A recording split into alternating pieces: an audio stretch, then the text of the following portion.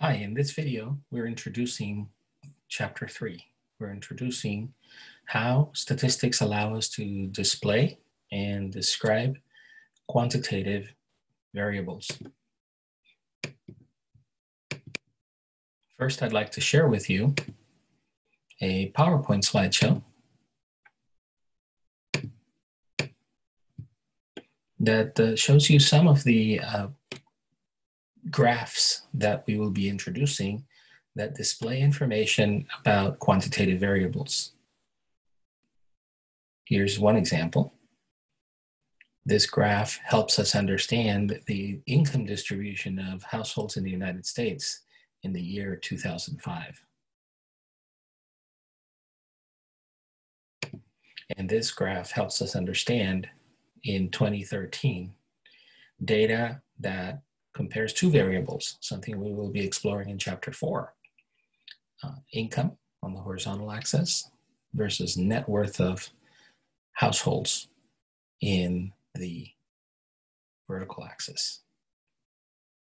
As you can see, uh, when you have two quantitative variables, we observe and ask different questions than when we only look at one variable at a time. Hence why the second module of the course, exam two, covers quantitative variables in two separate chapters.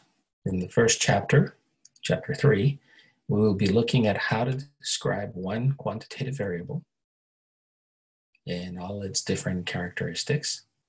And in chapter four, we will be looking at the notion of how do we look at associations between two quantitative variables. And in that case, we're going to be looking at not dependence or independence. That was how we cataloged association in categorical variables. In quantitative variables, we call the association study of two quantitative variables correlation. And we use a method called linear regression to begin studying correlation. So let's begin outlining chapter three.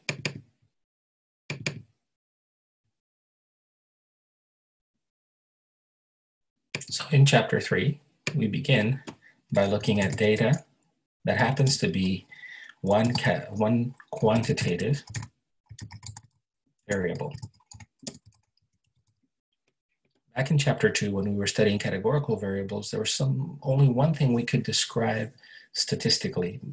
And remember, statistics are numerical adjectives of data, adjectives that describe the data. And when we're qualifying, when we're using qualifying information, the only kinds of questions we can ask is questions about how often these categories repeat. Hence, in chapter two, we only looked at frequency or contingency or percentages and counts that helped us understand how often these different categorizations occurred. Now that we're dealing with quantitative variables, and specifically with one quantitative variable, quantitative variables lend themselves to um, a lot more to be explained about them. And usually, when we use mathematics to describe a quantitative variable, we usually start from lowest to highest.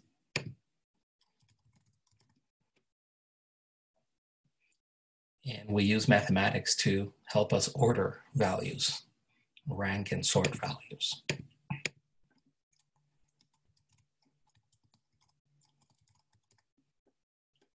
So we will keep a mathematical use of uh, description, and we're going to be calling statistics that measure that statistics by that describe the quantitative variable by rank or place.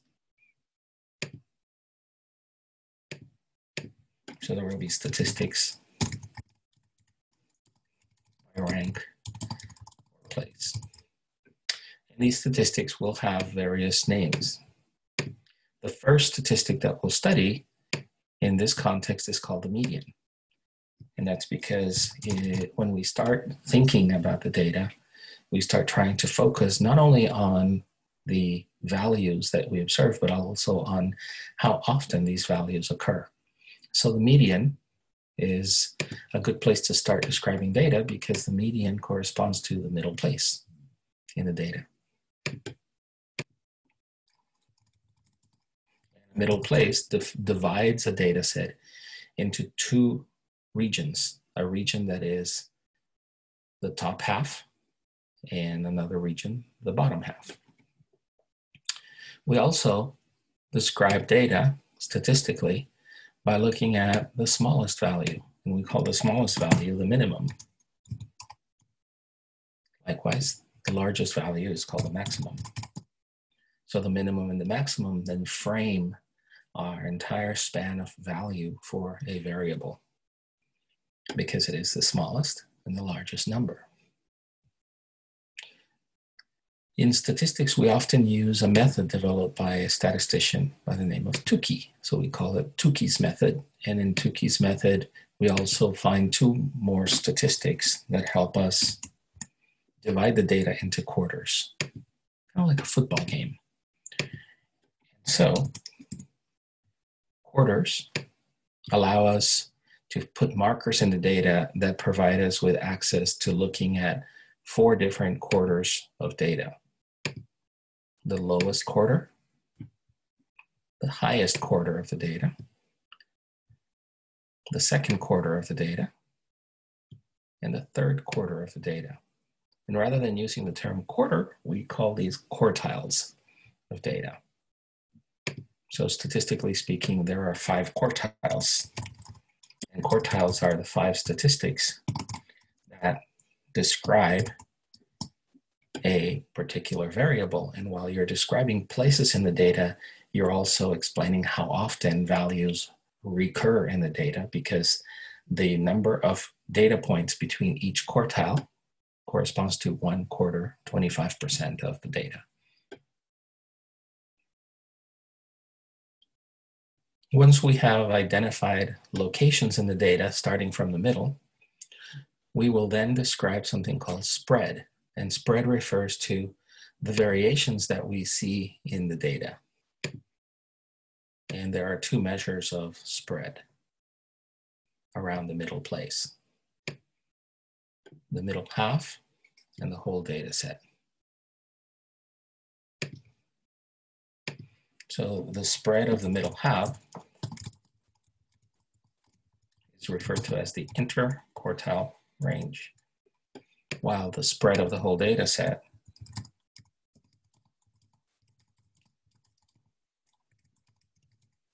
is referred to as the range. So the range is the maximum minus the minimum. And the spread of the middle half, the interquartile range, is defined as quartile 3 minus quartile 1.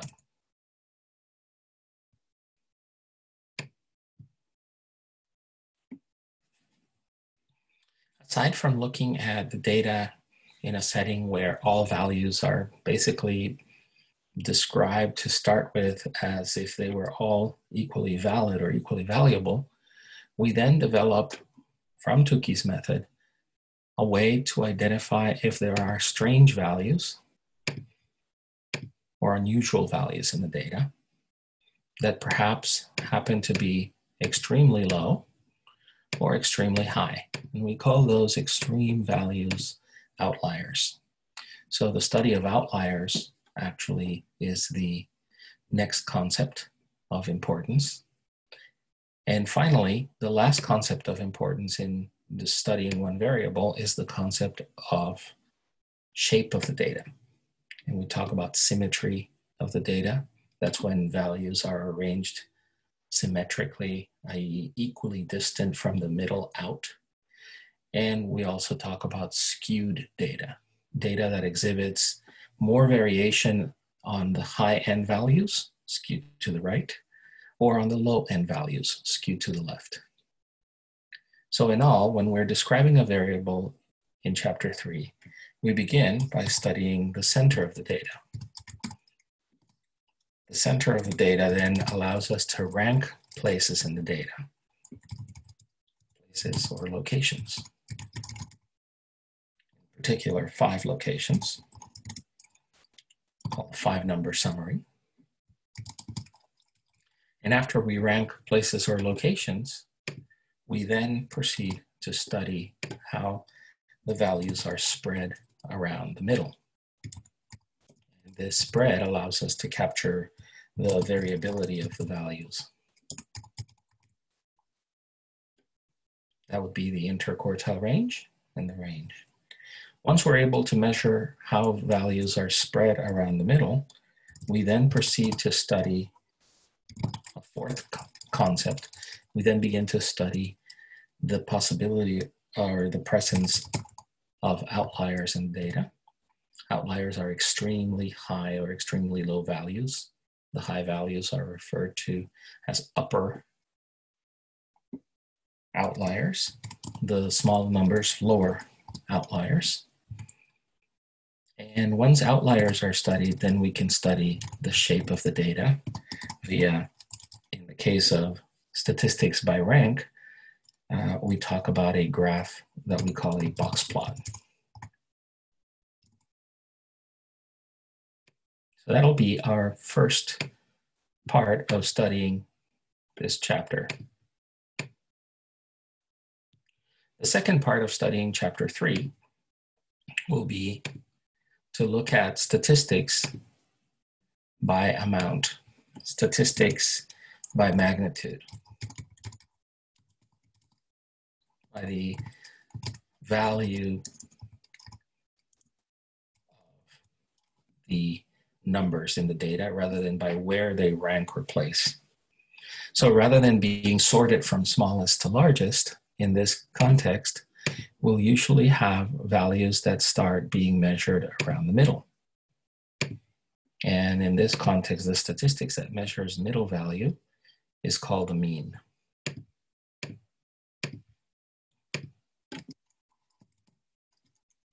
So the mean measures the middle value, not the middle place, the middle value.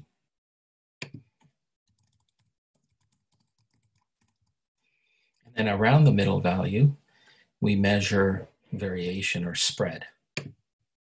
So we, after we find the middle value of a data set, we then measure how those values are spread around the middle. And those are referred to by two statistics of spread. And those statistics of spread are called the variance and the standard deviation.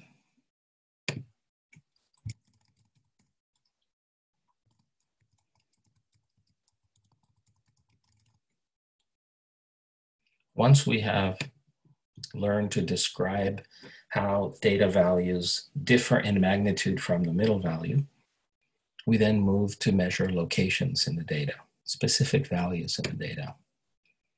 Values that tend to be located around the mean, equidistant from the mean. Those specific locations are called standard scores.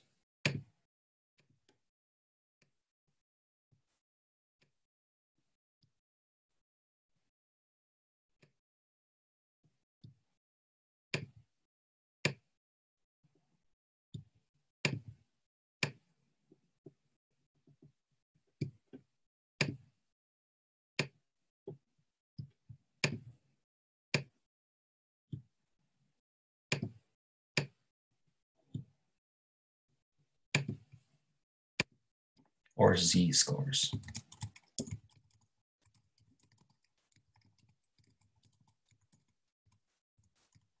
And once we measure z-scores, then we can find outliers as defined by locations in the data, magnitudes of value in the data that are extremely high or extremely low. So once again, we have a second way to conceptualize what we would call extreme values, extremely high numbers or extremely low numbers. Numbers that have a very positive and high z-score, numbers that have a very negative, large negative number of valued z-scores. And those are going to be called outliers.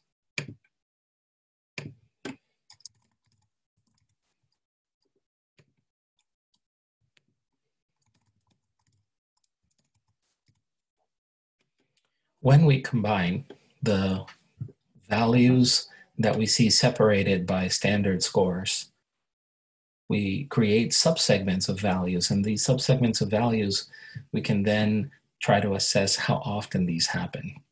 And in the creation of, uh, of such measures of frequency, we can then build a graph that helps us describe shape again. And uh, that graph is referred to as a histogram. So we once again will have a way to study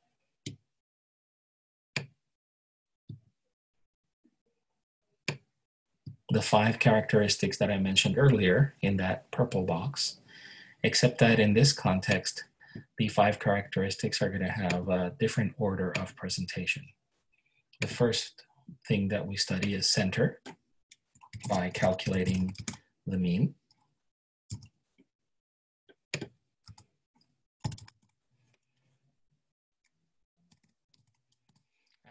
Studying center, though, we don't study locations. We study the spread around the data. We study the variance and the standard deviation.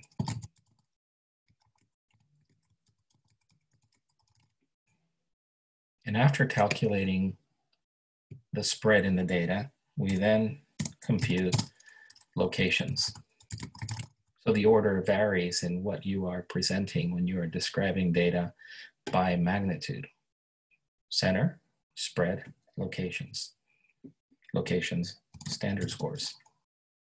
And after we measure locations in the data of importance, we then measure as a fourth item outliers, and as a fifth item shape through a graph that we call a histogram.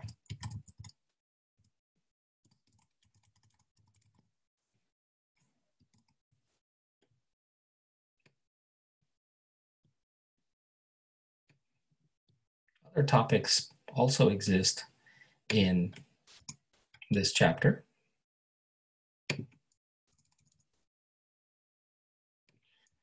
and uh, we will cover them in future videos that are will, that I'm going to be uh, posting over the next uh, few days.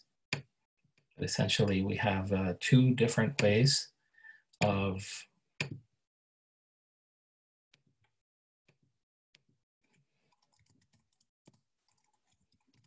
describing and displaying data.